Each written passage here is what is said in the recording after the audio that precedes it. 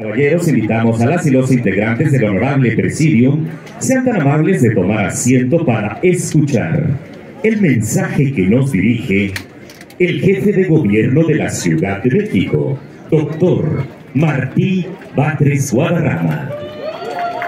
Muchas gracias, amigas, amigos. Como dice el dicho, lo prometido es deuda. Y hoy lo estamos cumpliendo. Nos vimos con algunos de ustedes antes de los Juegos Nacionales. No con todos, pero nos vimos más o menos con unos 100 deportistas allá en el Palacio del Ayuntamiento. Y ahí, además de desearles suerte, me comprometí a que les daríamos un estímulo económico extraordinario. E instruí, como aquí lo dijo el director, al propio director Julio Pérez, a aplicar, a instrumentar lo necesario para dar este estímulo. Hace algunos días le pregunté si ya estamos listos, porque ya nos vamos en unos días, nos quedan aquí dos semanas, y le dije, no nos vamos a ir sin entregar el estímulo a los deportistas, entonces quiero saber si ya está listo el recurso. Y ya hace unos días me dijo, ya está listo. Entonces dije, pues el sábado lo entregamos. El sábado entregamos el estímulo a los deportistas. Entonces, en reconocimiento a su esfuerzo, estamos entregando esta tarde estímulos a 1.535 deportistas de la Ciudad de México. Un aplauso fuerte para todos ellos.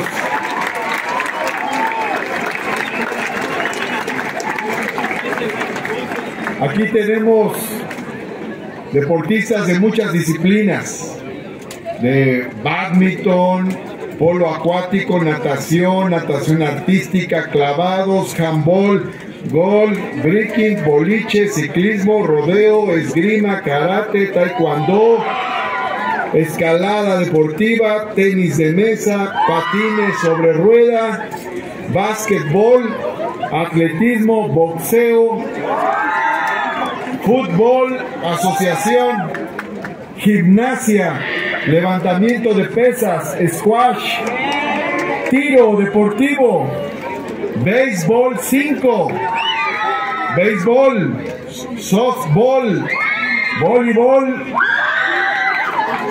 canotaje, racquetball, ajedrez, frontón, hockey sobre pasto, triatlón, remo, judo, lucha, rugby, tiro con arco,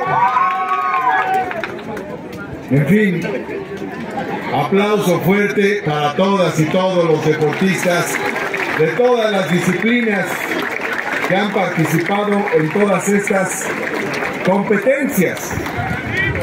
Quiero decir y un reconocimiento especial a los deportistas paralímpicos, un aplauso fuerte para ellos. Miren, el deporte implica mucho esfuerzo.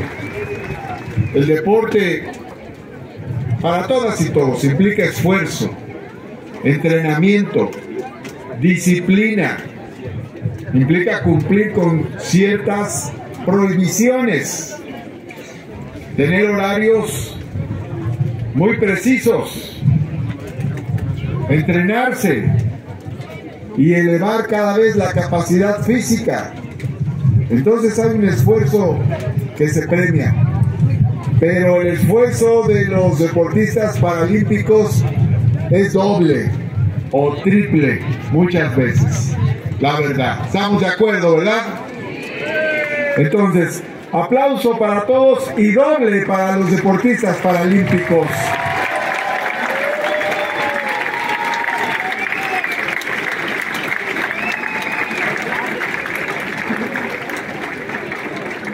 Quiero comentar que esta es la primera vez que se entrega ese estímulo. Se entrega ya de, desde hace tiempo un estímulo para los medallistas eso es bueno. Pero aquí queremos premiar a todos los que participaron. A eso nos comprometimos y por eso estamos entregando un estímulo general para todos los que participaron en los Juegos Nacionales. Y por cierto, queremos desearle suerte a nuestros 100 atletas de la Ciudad de México que están participando en los Juegos Paranacionales, justo del 18 de septiembre al 8 de octubre, con sede en Oaxaca y subsede en Hidalgo. Para terminar, quiero comentar, el deporte es esfuerzo, significa sacar la casta, lo mejor que tenemos, nuestro talento y significa también salud. El deporte es la mejor medicina que hay, es la medicina preventiva. Esa nos cura antes de enfermarnos, evita que nos enfermemos. Y también, por otra parte, el deporte es un derecho. Por eso entregamos ese estímulo.